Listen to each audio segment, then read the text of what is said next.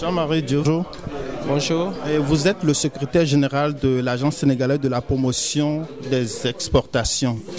Pourquoi la mangue, un fruit qu'on connaît, un fruit ordinaire, euh, qui du jour au lendemain brusquement attire l'intérêt, point où on lui consacre une semaine?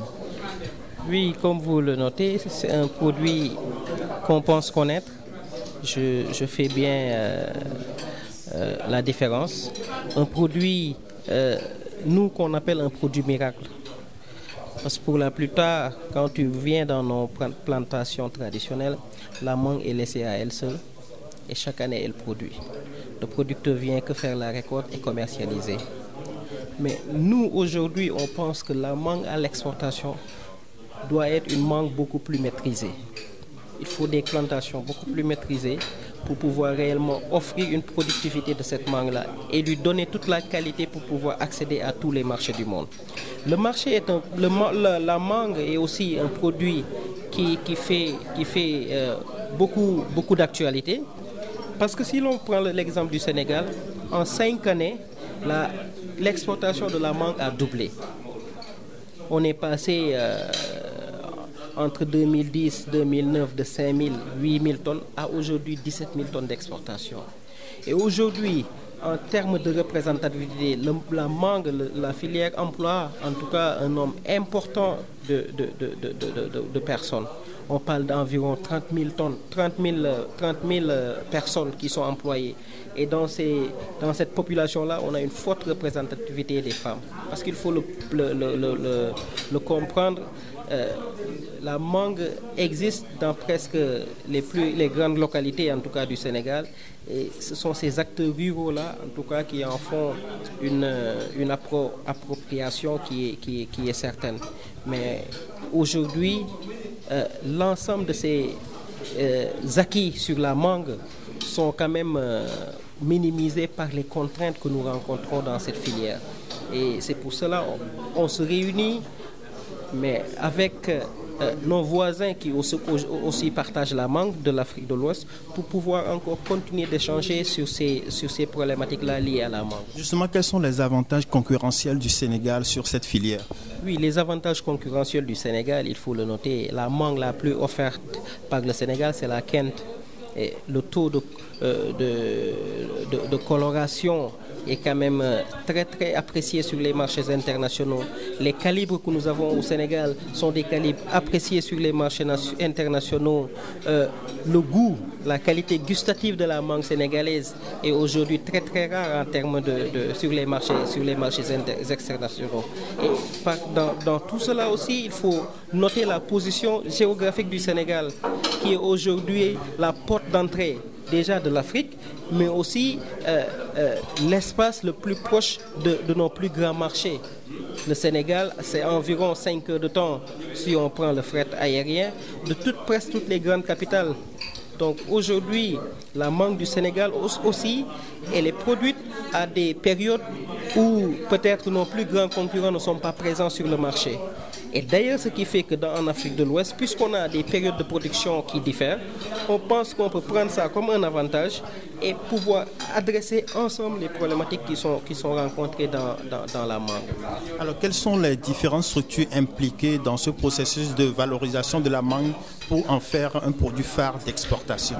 Oui, il y a aujourd'hui beaucoup de programmes qui interviennent dans la mangue, mais si on considère le gouvernement du Sénégal, il faut noter en tout cas euh, sur tous les segments de la chaîne de valeur mangue, on a quand même un intérêt. Et on a présenté ce matin un programme euh, du cadre intégré renforcé, le programme d'amélioration de la mangue, où on a pratiquement l'ensemble des acteurs publics et privés qui interviennent dans la mangue. Au niveau de la production, le ministère de l'Agriculture, bien entendu, s'occupe de tout ce qui est bonne pratique agricole avec la direction de l'horticulture.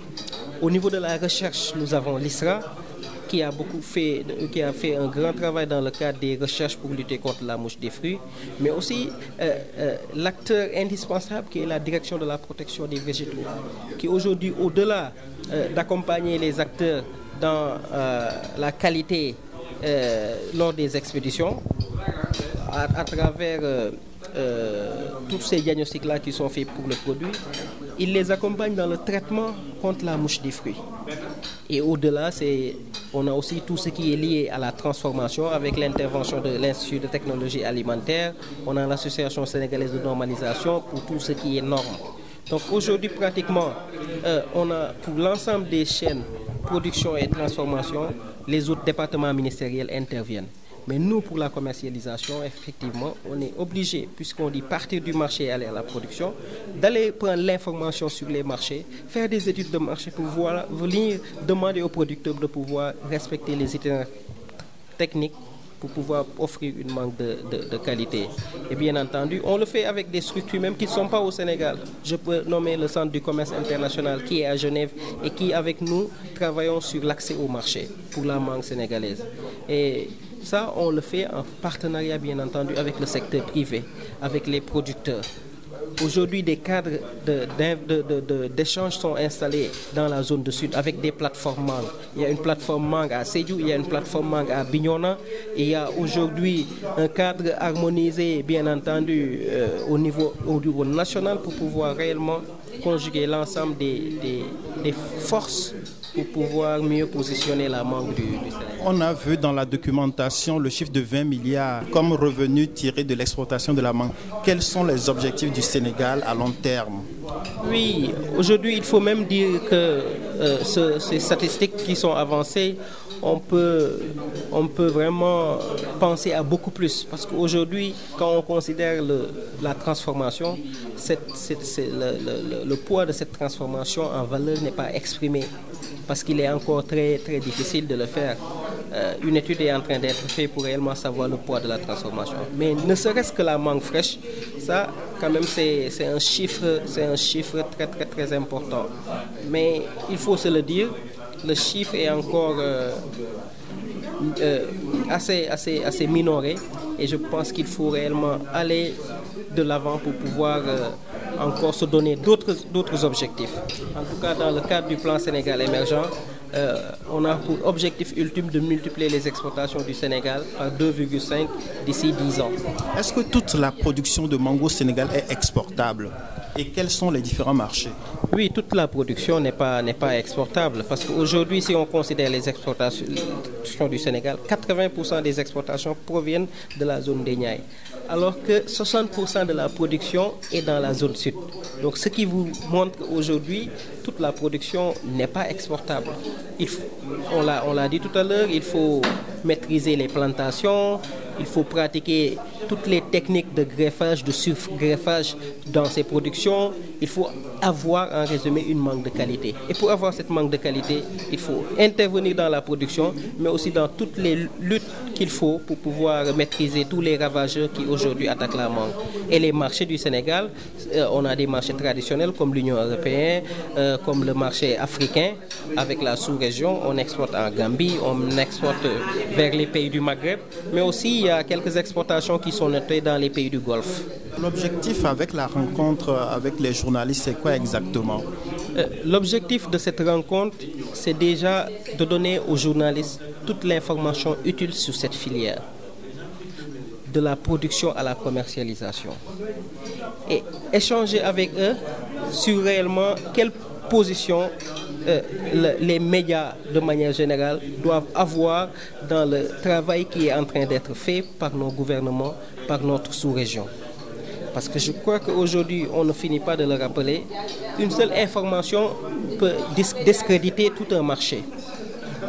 Donc on les appelle vraiment à pouvoir, bien entendu, continuer à donner la bonne information pour continuer de susciter l'intérêt pour, pour cette filière-là, mais au-delà de traiter la, bonne information pour que aussi au niveau des marchés internationaux, notre mangue soit, soit encore euh, assez bien reconnue. Qui est-ce qui a financé ce processus de valorisation de la filière?